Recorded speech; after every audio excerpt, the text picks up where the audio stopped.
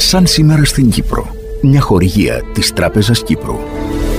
Σαν σήμερα, 25 Οκτωβρίου στην Κύπρο. Από την Εγκυκλοπαίδεια Πολυγνώση.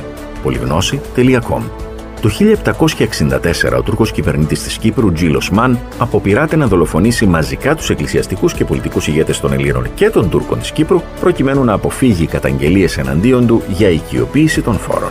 Το 1808 ο δραγωμάνος Χατζηγιοργάκης Κορνέσιος πληροφορείται από φίλους του την πρόθεση έκδοσης διατάγματος εναντίον του και φεύγει κρυφά για την Κωνσταντινούπολη. Το 1931 σημειώνονται συγκρούσεις στην Αμόχωστο ύστερα από επιθέσεις διαδηλωτών κατά αστυνομικών σταθμών και άλλων εγκαταστάσεων. Σκοτώνεται ο 18χρονος Χαράλαμπος Φιλίππου από το Λευκόνικο ενώ πολλοί είναι οι τραυματίες.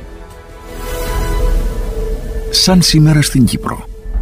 Μια χορηγία της Τράπεζας Κύπρου.